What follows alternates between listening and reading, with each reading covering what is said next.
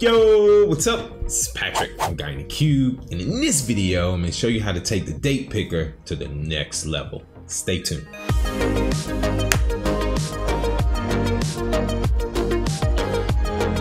If you're finding this for the very first time, be sure to hit that subscribe button to stay up to date on all the videos from both Adam and myself. All right, so I did this video showing you how to create a single date picker in Power BI. You didn't want to use a relative date slicer because didn't quite have the functionality.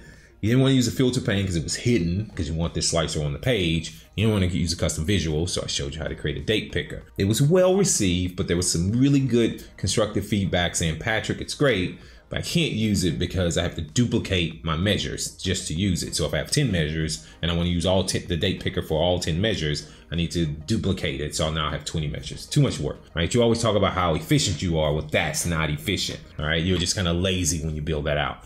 Can we get a better solution? It was like, yep, I thought of something. And in this video, I'm going to show you. So enough of all this talking. You guys know I like to do. Let's do what? Let's head over to my laptop originally, when you build this out, when you uh, use a date picker, the first thing you want to do is set up the slicer properly. So you choose your date, you set up the slicer to be either before or after, or before or after slicer. Let me just kind of do a recap on what this pattern looks like. So what you would do is if you wanted to use this single date, use this as a single date picker, you right click, you do new measure, and you could do something like this, right? So whatever the measure name is, you give it a name, and then you can use this little tidbit of code right here. So the selected date, since I'm using after, will be minimum, and then you can write the code out, whatever measure that you want to use for the single date. The challenge is you have to repeat this for every measure. Like I said, if you have 10, 10 measures, now you're going to have 20. Let me show you what I'm talking about. And so don't worry about this. Let's disregard this. And so to create this dashboard so that it uses the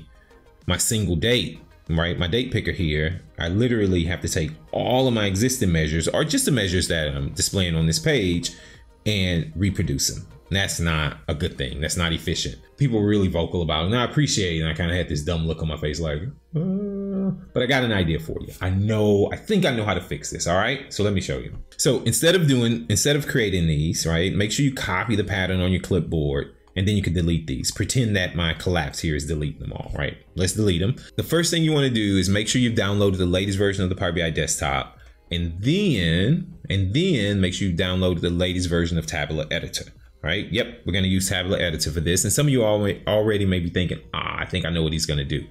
So you click on Tabular Editor, you go here, you go here, expand tables. You don't have to expand tables. You right click on tables, choose create new and use calculation group. And then we're gonna call this the date picker, right? And then just right click on the date picker and choose new calculation item. And we're gonna call this single date, just like that. And then paste that code in there, the code from the pattern that you already wrote.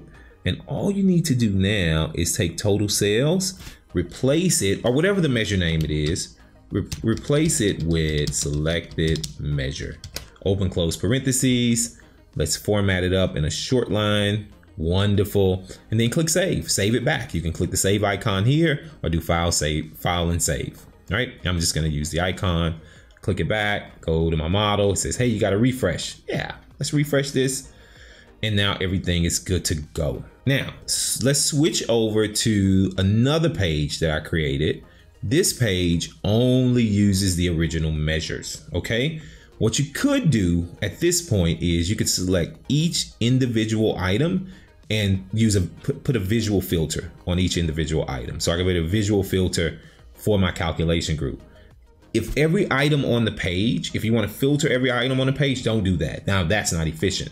Simply go to your calculation group, grab the name or whatever you called it, drag it to filter on this page, and then select single date. And you'll see now the values drastically change. If I click it and choose the 25th, you'll see that the date is changing and it's filtering down just to that individual day. Like I said before, you got two choices, right? You can put it on the page or you can selectively put it on each item. What do you guys think, right? This is so much better than creating all those duplicate measures. Just go delete those, create a quick calculation group, use the exact same pattern, apply the filter to the page or to your individual elements, and you're ready to go. All right. What do you guys think? Did you watch the old day picker video? If you didn't, go check it out, right? And then watch this one and let me know what you think. If you have any questions, comments about this, or any great feedback, you know what to do. Post it in the comments below. It's your first time visiting the Guy in the Cube channel, hit that subscribe button. If you like my video, give me a big thumbs up. As always, from Adam and myself, thanks for watching. We'll see you in the next video.